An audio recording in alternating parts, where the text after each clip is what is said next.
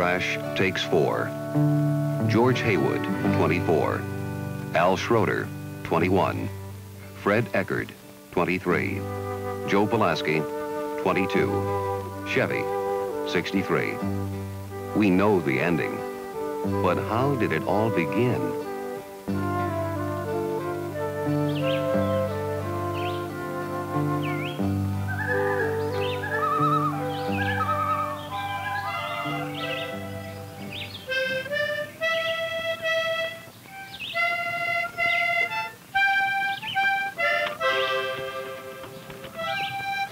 Joe.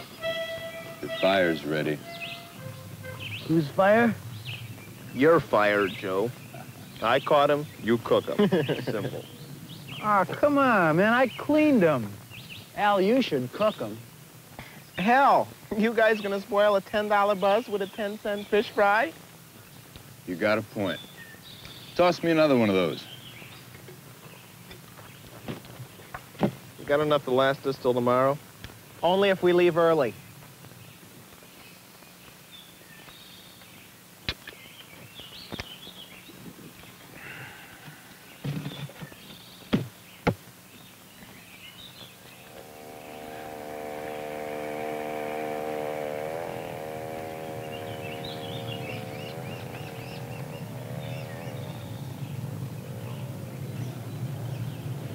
Did you invite anybody to dinner?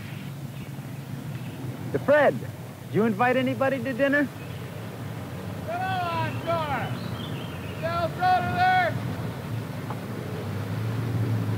Al invited him to dinner.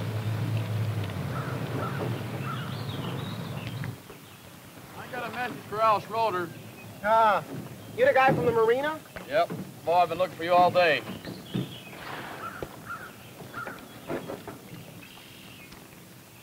And Ernie Johnson called and says his wife's in labor. You got to come back right away and take the Sunday afternoon shift for him. That's a drag. Sunday? Did he say Sunday? That's tomorrow, Sunday. Uh, hey, I really hate to do this to you guys. But, well, you see, I've been promising Ernie for months that I'd take over for him when the baby came, and I really hate to drag you guys back a whole day early. Maybe I could get back without my car. Oh, no sweat, man. Someday Ernie will do the same for you, huh?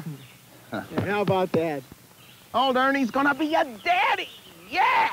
Ever! Well, we're gonna get you back in time. We better start now. Uh, one thing I don't feel like doing is driving right now. Uh, looks like the beer's running out anyway. What a time to have lost my license.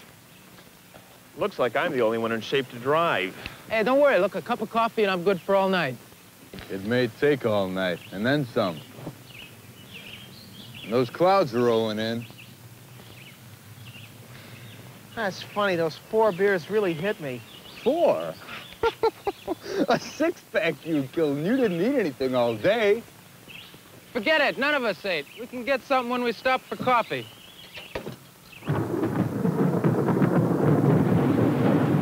Damn. These wipers are just no good at all. For Pete's sake, slow down. Don't slow down. We gotta get back for good old Ernie. At least put your brights on. Hey, these are the brights, man. That pothole we hit back there muddied them up. A nice car you got here, Al. Down, Joe. You don't know this road. Oh, man, there's nobody on this road this time of night. And besides, I've never had an accident yet. You never drove a rattletrap like this either. I resent that. A couple of new tires and it'd get you anywhere. Damn these wipers. Hey, was that a curb sign? It's 50-foot drop down there. That lightning? Jesus! Donkey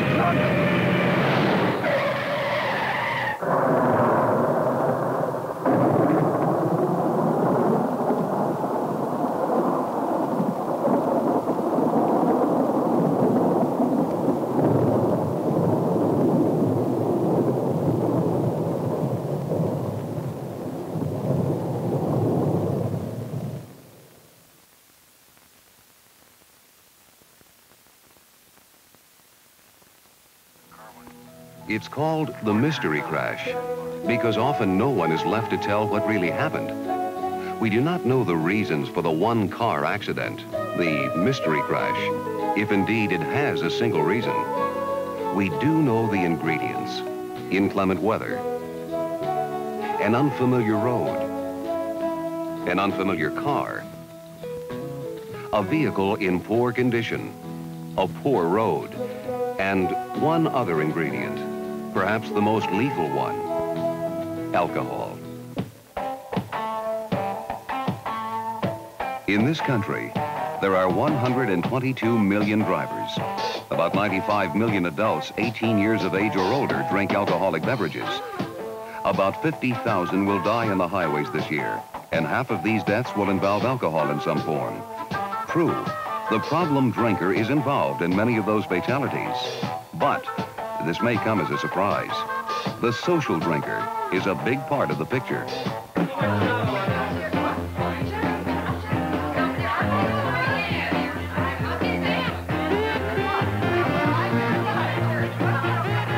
The social drinker. Gregarious. Fun. Dangerous. All the more so because he doesn't know he's dangerous. The brain is a computer, constantly receiving information through the senses, enabling you to make split-second decisions. Alcohol is a drug. It is absorbed into the bloodstream. The moment it reaches the brain, it short-circuits the computer. Judgment is impaired. Reflexes are slowed. Vision is reduced. Just enough to make the difference in a safe trip and an accident. All are factors which make it difficult to cope with the unexpected. And the driver is not aware just how dangerously his coordination is affected. The intoxicated driver is not aware of what is happening to him. Incidentally, alcoholic impairment is not an opinion. It is a legal fact, and there are machines that measure it. When a driver is arrested for driving while intoxicated, a police officer will ask him to take a breath test. The accused driver merely blows a sample of his breath into a disposable tube, which is connected to the breath testing machine. The machine measures and registers the percentage of alcohol in the blood. The result is the BAC, blood alcohol concentration. In all but three states, one-tenth of 1% or more blood alcohol concentration is legal evidence of intoxication. One-tenth of 1% means one drop of alcohol per 1,000 drops of blood. The calculation takes seconds. It is accurate. It is accepted in court. The machine only affirms in a technical way what the drinker, at this stage, is unable to tell himself. In general, most drinkers go through predictable stages as their blood alcohol concentration increases. At one hundredth of 1% blood alcohol concentration, the social drinker is hardly influenced, has normal actions. One beer produces the slightest effect. At two to three hundredths of 1% blood alcohol concentration, the social drinker is elated, pleasant, more sociable. A couple of beers can put him there. At five hundredths of 1%, the social drinker loses some of his inhibitions, is more given to impulsive behavior. Three beers could get him to this plateau. At 0.08 or 0.09%, he's flirting with the legal danger point. The signs are beginning to show. At one-tenth of 1%, he is confused, staggering, and speech is slurred. One six-pack can put him over the one-tenth of 1% level. Now, let's go back to that one can of beer. Come on, you're saying. Just one can of beer? Well, it's a cold, sober fact. One 12-ounce can of beer contains as much alcohol as one shot of 86 proof whiskey, and the effects are the same. The concentration of alcohol attained in the blood depends on the amount, obviously, you've had to drink. The time span of drinking, your body weight, and the amount and type of food in your stomach. Maybe you won't know your blood alcohol concentration, but you will know how many beers you've had. And this rule is easy to remember. One six-pack, don't drive back. At least not right away. Because the blood alcohol concentration cannot be lowered except through passage of time. Exercise, fresh air, cold showers, forget them.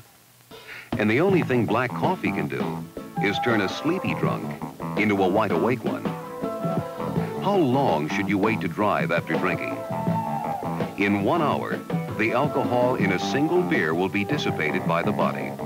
Generally allow two hours for two beers. And yes, more than three hours for three beers. Because for DWI, driving while under the influence, the penalties are severe. Conviction can mean jail for a year in some states and loss of your license. Legal fees, if you want to fight it, can mount up to $1,000 or more. Should you lose the fight or lose your driving privileges for a year, your auto insurance rates can double easily. Should your job, of course, require driving and your license is revoked, well, you're out of a job. Simple. In any case, DWI will cost. It could cost you your life. The social drinker. For all his gregariousness, he's a man of mystery because in his unguarded moments, he's one of the very human ingredients in, yes, the mystery crash. The one type of accident over which the driver has complete control. The social drinker. He's the one type of guy who just may not know his limit. The social drinker. Everybody likes him. Immediately. Until they meet him on the road.